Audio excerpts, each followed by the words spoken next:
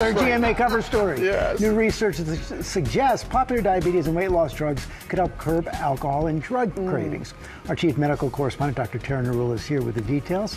Tell us about the study.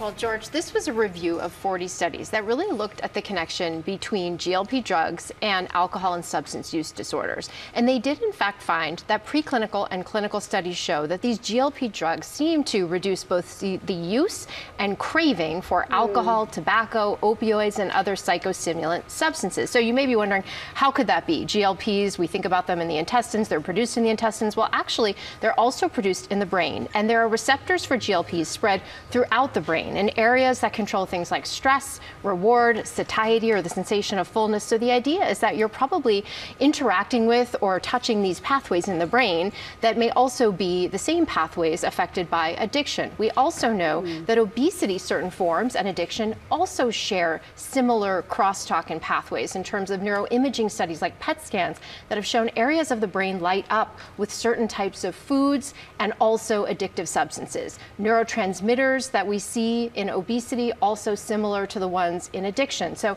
there's a lot of reason why these pathways may overlap.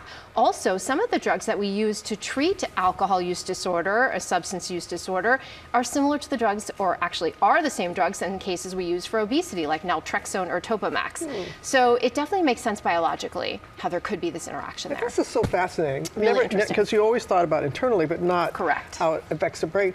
Talk about why this is important. Well, Robin, when you think about the fact that 46 million adults are affected by alcohol and substance use disorder and 2 million adolescents, and the reality is we don't have a lot of great drug therapies for yeah. these individuals, the suffering is on an individual level, a society level, a family, family level.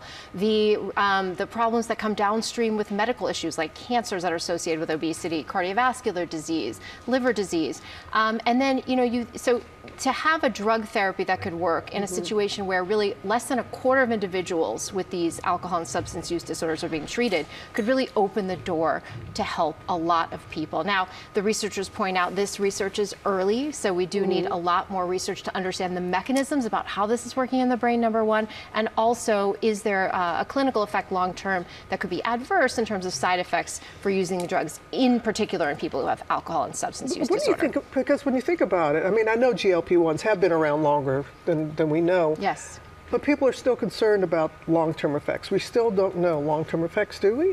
So these drugs, actually, I mean, who would have thought that the venom of the Gila monster in the 1990s would become the beginnings of the GLP drugs? That's wow. where we, that's where it came from. But we have studied these in diabetics for a long time, mm. for over 15 years. So we really do have a good understanding of the side effects of these drugs and the safety profile. But we're seeing them used, Robin, for indications or being studied for things like Alzheimer's disease and Parkinson's, liver disease, osteoarthritis in the knee, polycystic ovarian syndrome, heart failure, wow. chronic kidney mm-hmm. disease, and now addiction. So it's just incredible what we've seen in terms it of is. the potential implications. Yeah, yeah. All from the Gila monster. Yeah. From, from, oh, so you heard it from the Gila. I guess that's the G. Yes, in the, the there GLP. you go. Dr. Narula, thank you as always. Thank you, you really break it down and help us understand.